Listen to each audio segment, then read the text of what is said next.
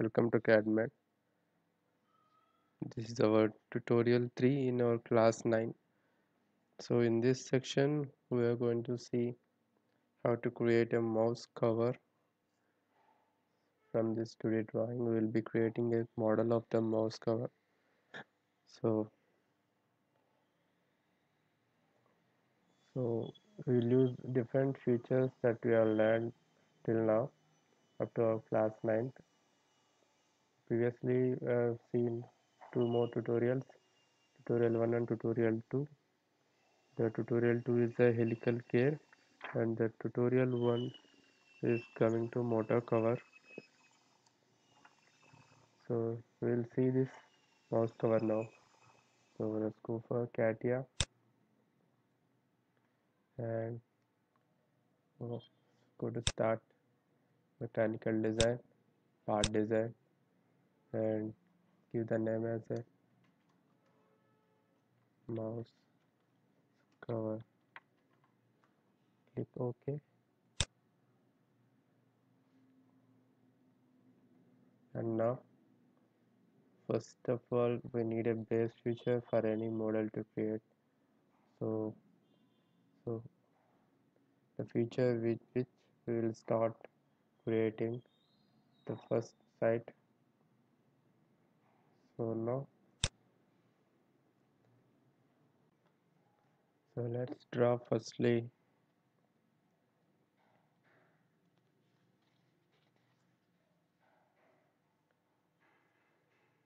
From let's start with the section A.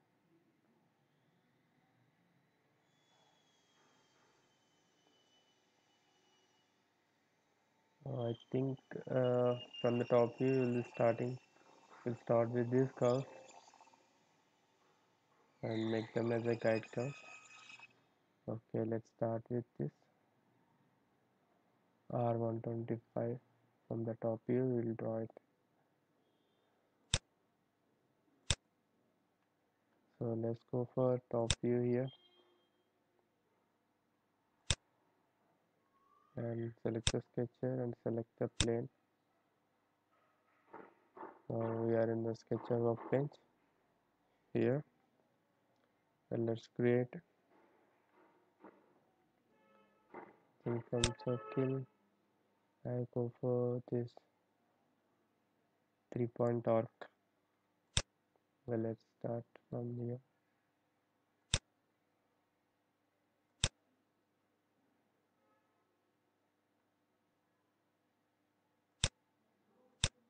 okay now. I need to create another circle here. It is radius of arc is 418 and this is 125 which we have created now. Anyway we haven't constrained it so let's create another one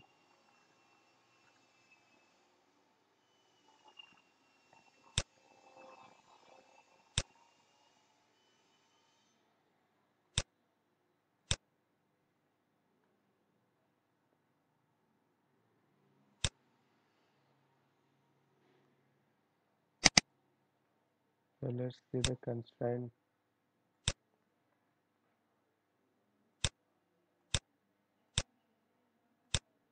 First one is r125 and the second one is r418 radius says 125 and the second one is 418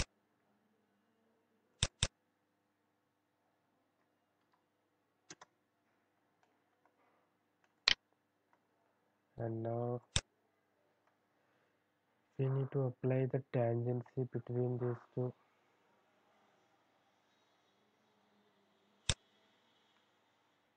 One and this one tangency.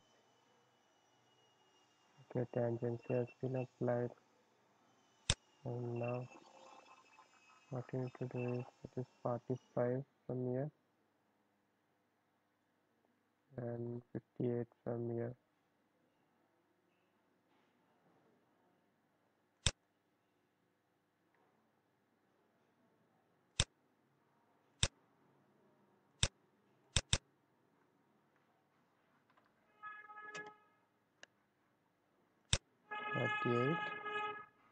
fifty-eight from the center axis.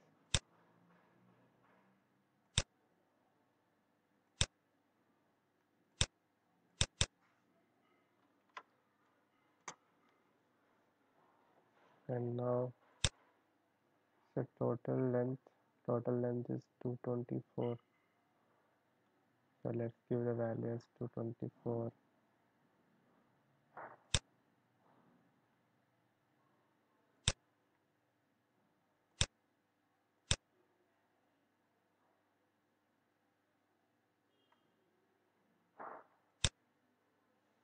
let's delete this one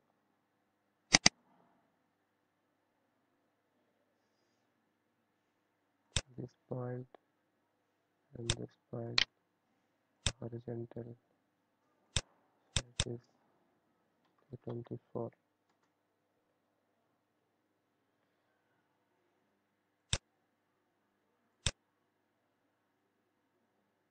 still it is not fully constrained as you can. Just move really so let's fully constrain so how to fully constrain this.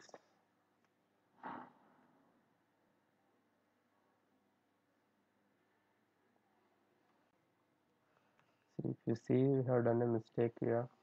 Here if you see this is a uh, concave shape on outside. Here it is a convex shape on the outside. So for this the center should be on the outside not on the inside. So need to change this R418 center position. Further let's delete this. Fine. And let's delete this again. And let's create a circle again. This one this one and make it a convex shape on the outside and now let's apply the constraint now. Give the radius as 418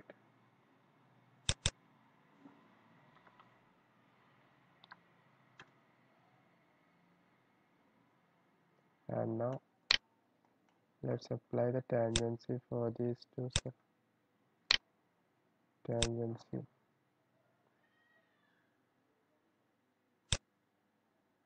let's see if it is still movable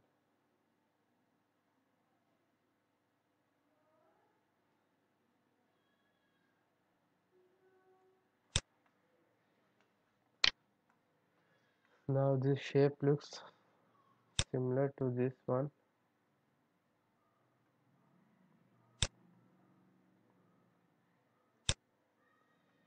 Even though it is not fully constrained so but there is nothing that we can do as here.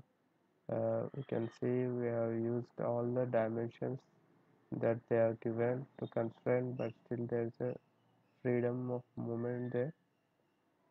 So what we do is we as it is a surface uh, like a shape like so we'll just adjust the shape such that it will be approximately close to the shape shown in the drawing here.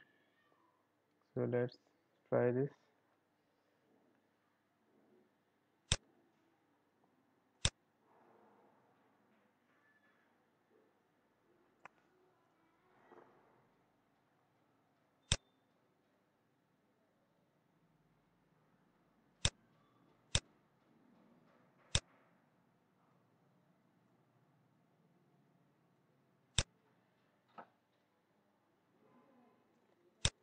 I think it is almost close to this. So let's leave like this. And uh, exit the sketch workbench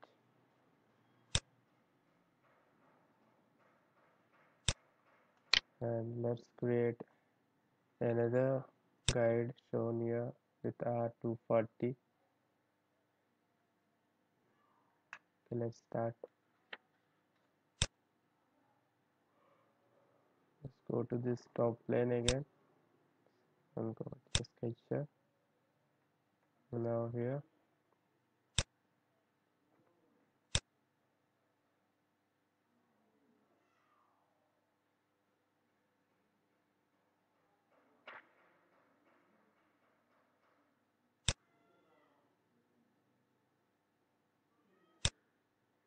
Roughly I created this one. Now I apply the constraint here. This one is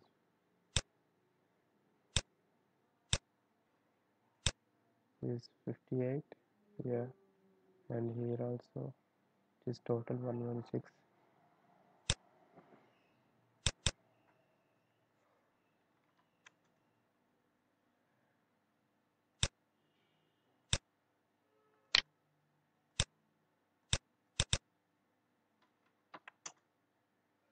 and coming to the total length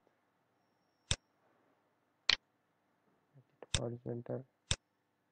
Total length it is as 224 is the total length. Give the value as 224 okay. And let's give the radius for this. Is 314 is 240 yeah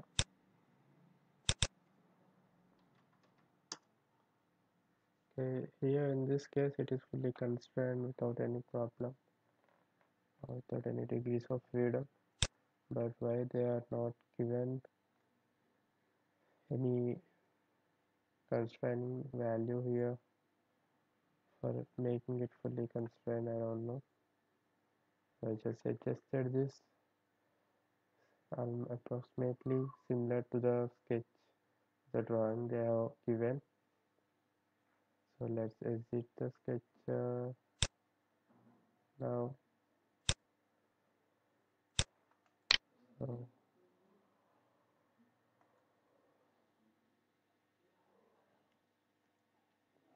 so now if you see well anyway let's just make it constant by giving some value to this. So here I'm giving this point from this end around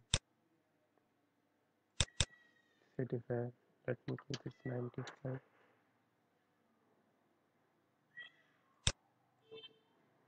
so it is fully constrained. Actually the value is not given in the drawing here but I'm just uh, uh, assume that the value some value so that it will the shape will remain so now it is fully constrained. Now exit the sketcher. And now let's uh, go further. This in section A now we will create this R235 from the side view.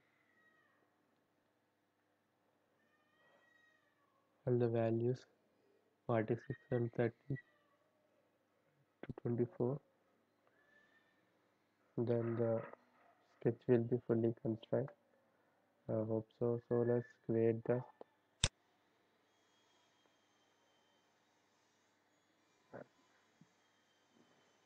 let's go for this accept plane side view and this select the sketcher here. Uh, let's uh, let it out. Let's go for top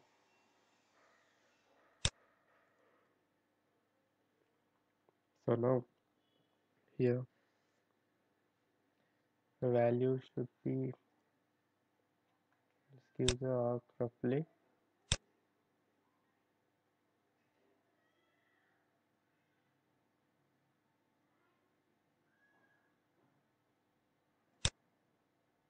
Let's give it roughly. And let's constrain it. Give the arc radius as 235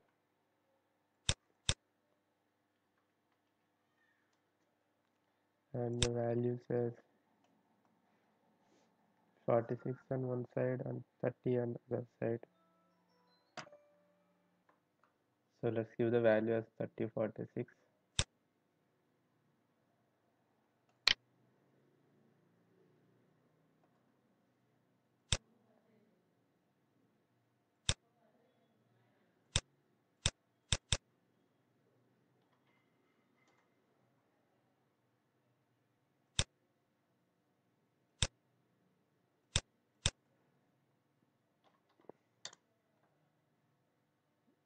the total length is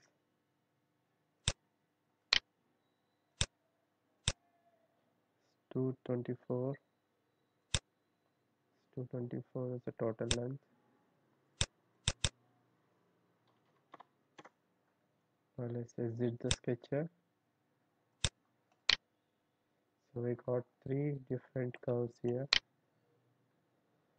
which will be acting as a guide curves so so first the next thing we'll do is we'll create a plane at this end. And at this end it's not required as it is from the origin. You can see the planes already here existing planes. So here I will be creating a plane for making the sketch sketches here. So we need to make two sketches. One is at here one end and the other end is a section sketch 2 and create the firstly the sketch 1 will be the radius of 113 and the sketch 2 will be at a radius of 120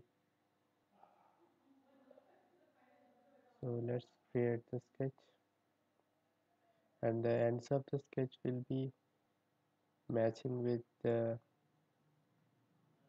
endpoints of the guides created at first.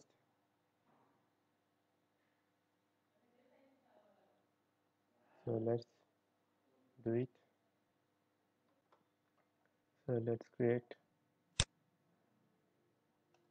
Firstly I'm selecting this plane here. On this end select the sketching workbench and now let's make an arc here.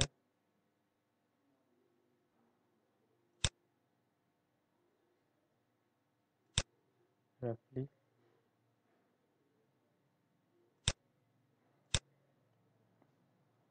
And let's make constraining here.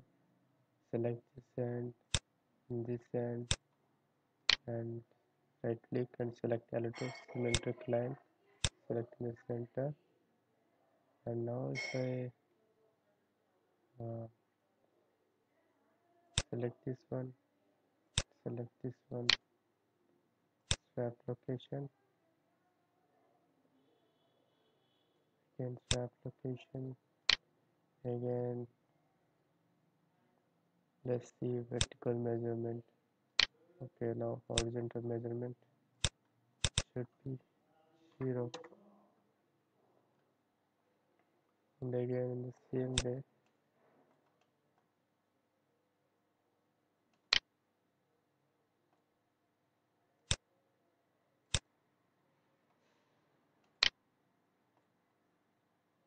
Select this end and make the horizontal measure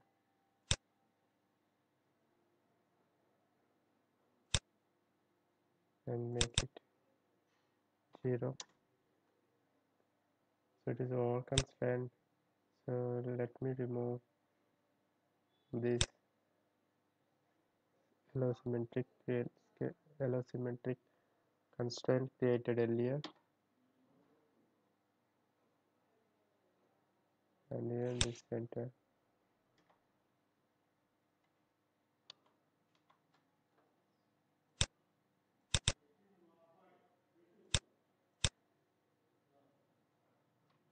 and do this one.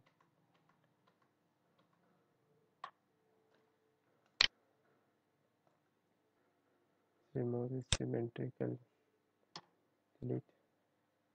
Now let's see. This end and this end. Horizontal measurement make it 0 okay. And now I need to join this one and this curve sketch and the guide for this end I need to join this. Select this curve and this point and make it coincide okay now the thing that is still pending is uh, radius I think. Radius is 120 on the short side on 30 side it is 120 this is a closed one and this is open end. This is a closed end. On the closed end from the you see here this is open end. R113 is this arc is an open end whereas this r120 is the closest side here. So from inside the dimension is given as r120 so let's give the value uh, r120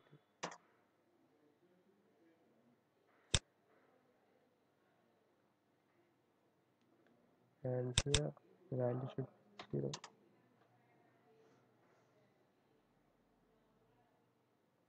now what is still left is these two lines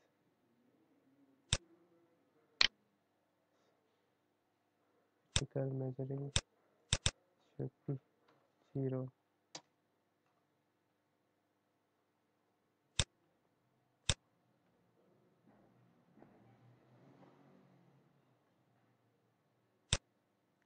so now it is fully constrained.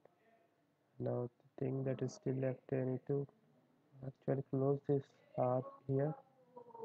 So let's close this one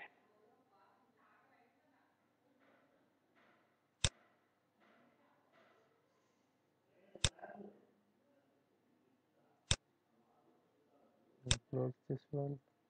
Now exit the sketcher? So one profile has been created. Now we are left with another sketch here. So here I need to create a plane here. Firstly go to this plane option here. And selecting this point and the plane should be parallel to this plane. So first select here.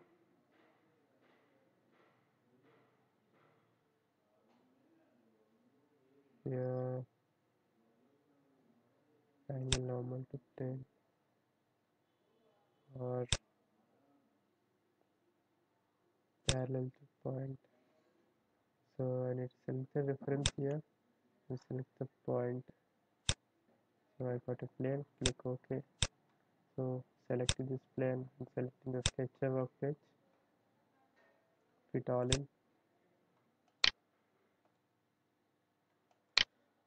So here now on this plane I need to create another sketch which is of R113 and this ends up matching with the guidance. So let's start creating a arc firstly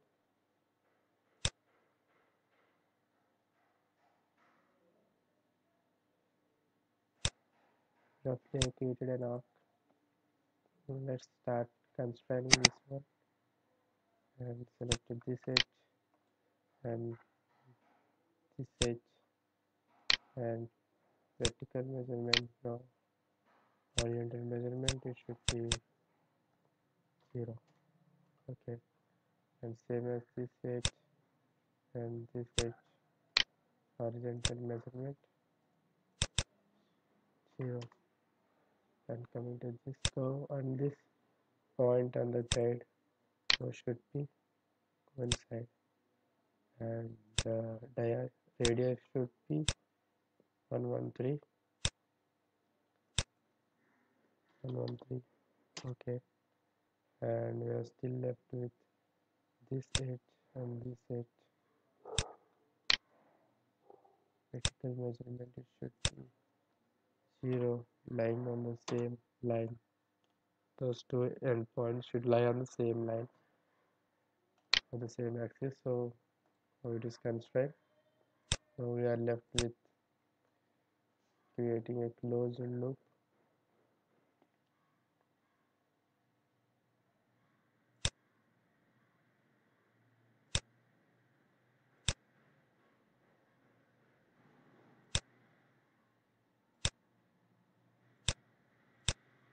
so exit the sketcher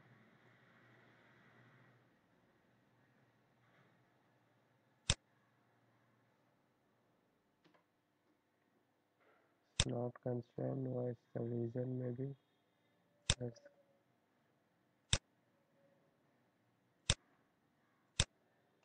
yeah we see uh, the sketcher you see we are having the, the sides is having two different sections and three guide curves here created as per the drawing.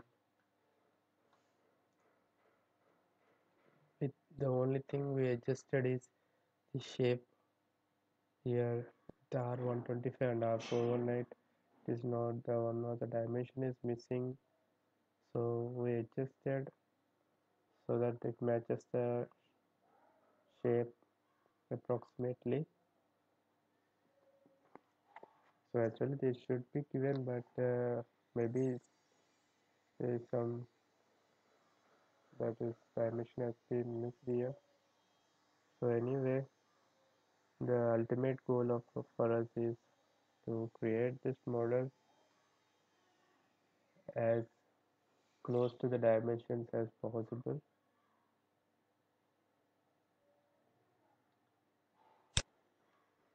So now go for this uh, multi-section solid here selected and select the first section and select the second section and see the closing points are on the same side and the same vertex here. So go to the guides here and select guides here second one third one. See the preview. And click ok. So we got the final shape. So still we are missing with something here. Like uh, the wall thickness should be 3 mm overall and here one side is open and other side is kept closed. So let's go for the shelling option here to maintain the wall thickness. So before that uh, the radius should be given. R25 to edges here here and here is r25 and whereas on the top it is r15 on one side three sides. It is r15 and two edges. It is r25 so let's see.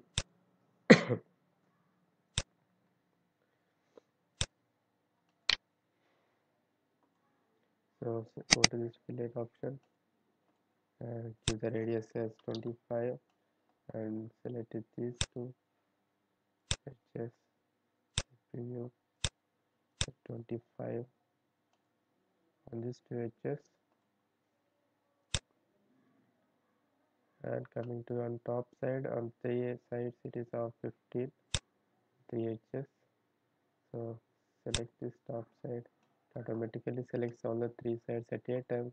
As its selection mode is in tangency so it will take three edges at a time using this tangency selection mode. And in the radius we give the value as 15 see the preview. Okay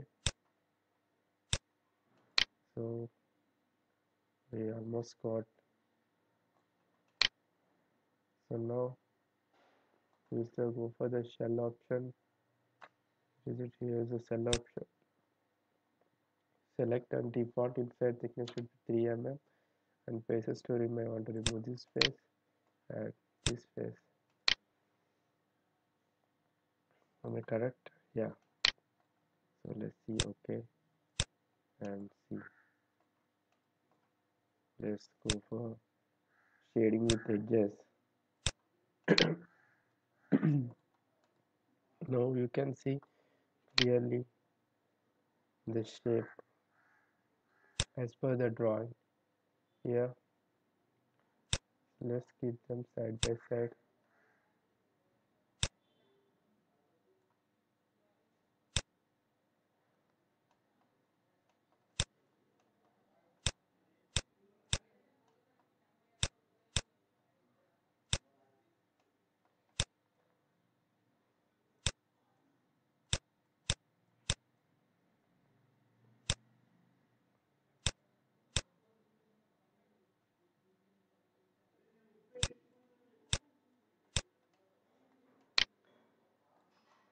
you see here. Let's go for the views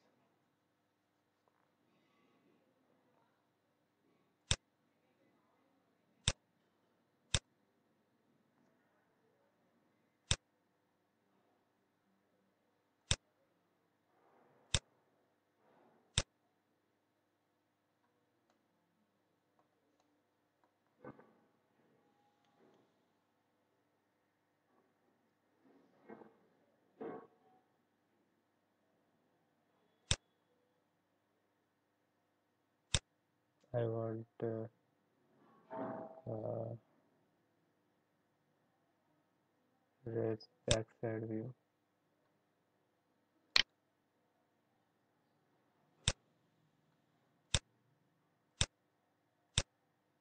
View yeah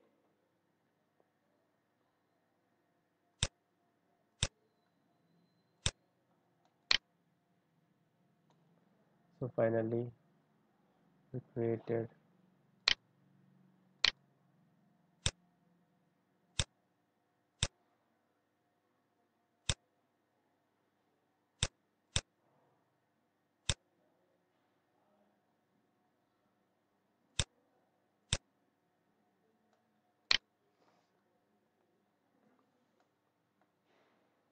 so we created the model using the 2D drawing that was shown to us. So hope you understand every point. If there is uh, any doubt you can comment on the comment section. And make sure you practice this one perfectly. And then coming to the next class we are going to see from the next class onwards the wireframe on the surface design workbench. So in that we are going to learn some different wireframe geometries and surfaces and different surface features we are going to see in the next class in the wireframe on surface design workbench. So until then have a good day. Bye bye